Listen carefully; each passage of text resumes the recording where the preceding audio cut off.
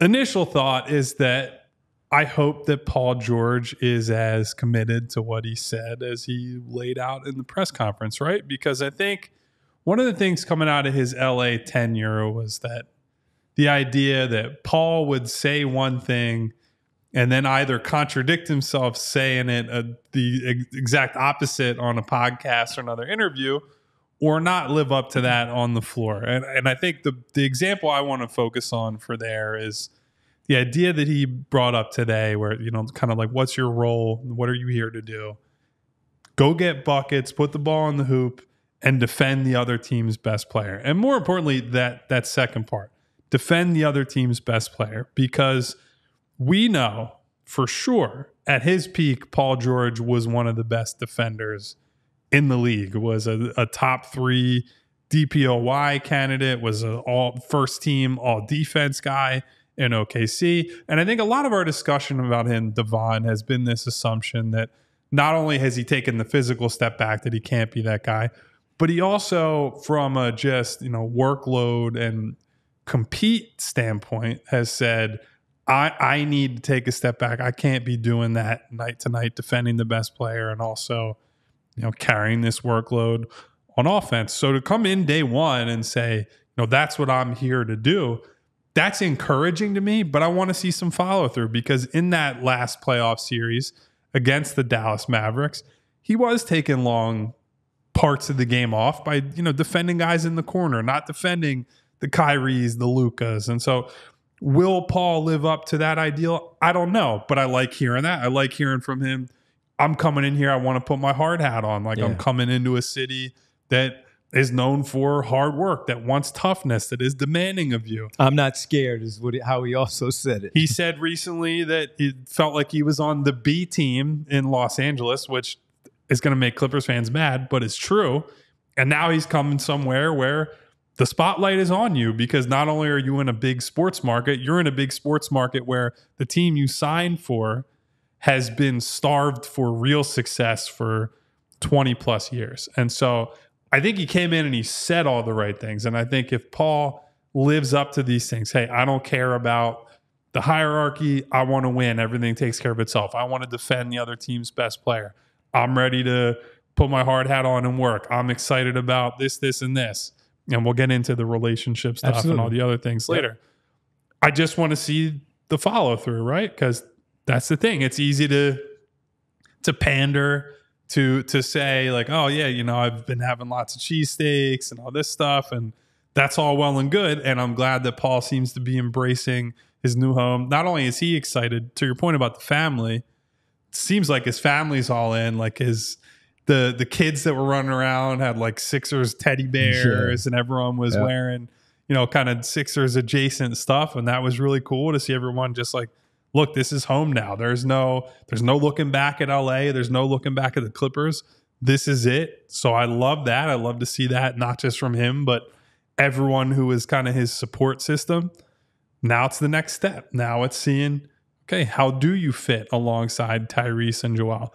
How willing are you to do the dirty work on a given night and be that guy who needs to defend the best players on the other team? So I was I was encouraged by what I heard. I think he there was I don't think there was anything in there that stuck out as like a eyebrow raising moment. I think it was all great from a I'm sure the PR staff was absolutely loving Were that thrilled. presser. Yeah. but yeah, let's see what's next. Let's see what the team looks like, and we won't be able to see that until you know late late September, early October when training camp kicks off. So that was one of the things as you just talked about the PR and how happy they had to be with that press conference because the first thing that stood out to me was he's a 14 year veteran.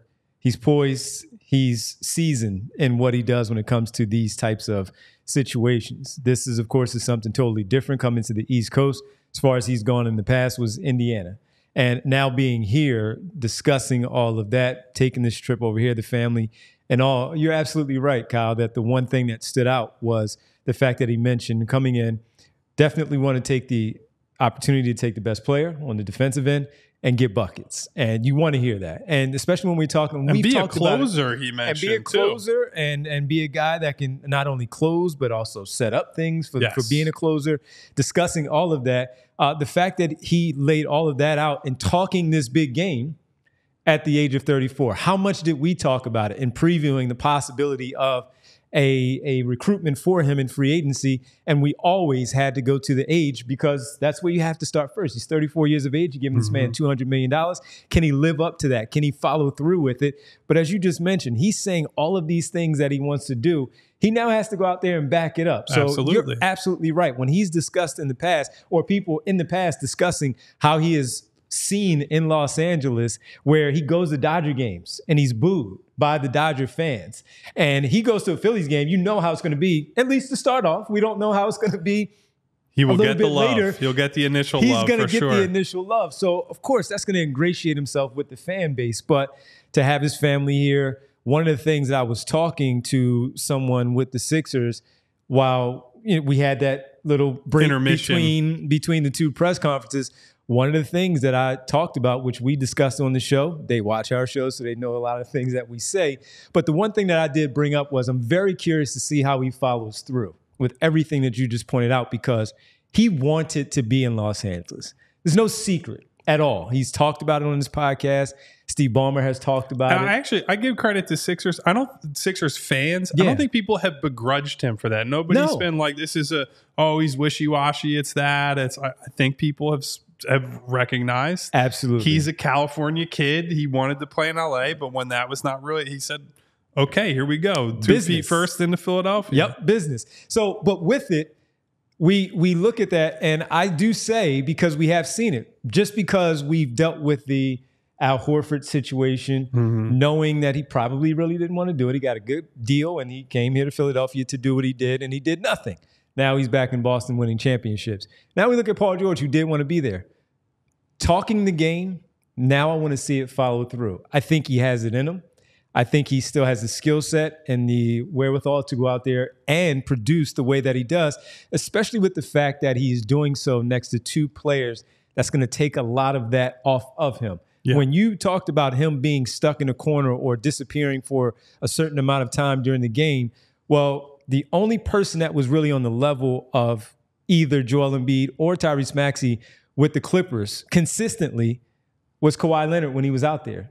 Other than that, he didn't have that second person to go when Kawhi Leonard was not there. Mm-hmm. Now he's going to have both, barring any injury where either one of them have to miss games, most notably Joel Embiid, as we all know. But he also spoke about that, doing his best as the closer, as the setup man to do other things to keep Joel Embiid as healthy as possible during the season, where he even mentioned we don't want to have him isolated at the top of the key. He looked right you at took Nick the words Nurse, out of my mouth. And that's I was sitting was there cracking next. up like, oh, that's where we're going. And uh, but I'm sure again, which we'll get into the conversations that they have in, in the past, that these are things that they've discussed themselves. I'd imagine that this has come up. So there was a lot of things I was impressed with.